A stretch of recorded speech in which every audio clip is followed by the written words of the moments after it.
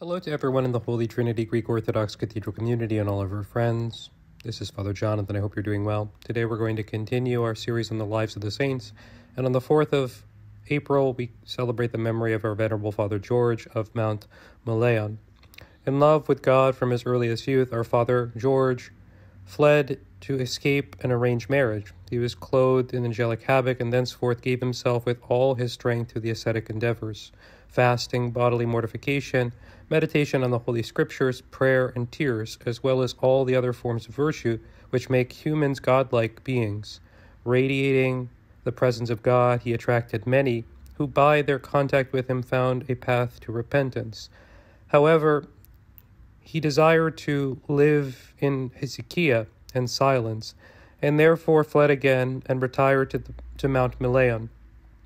But when men thirsting for God came to join him and implored him to guide them in the science of ascesis and prayer, he gave to each of his disciples the guidance suitable for their character and progress in virtue, and assigned cells to them near his retreat. The graces and discernment that God gave him, his servant, made him known to the great and even to the king.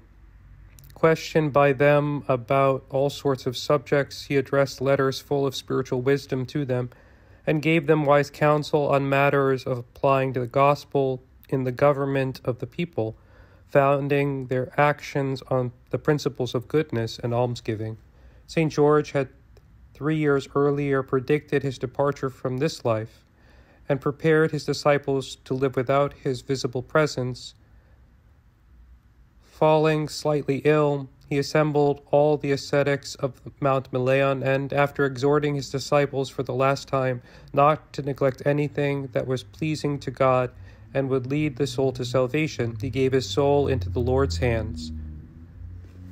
May the, by the prayers of Saint George of Mount Maleon, may the Lord God have mercy on us and save us. Amen.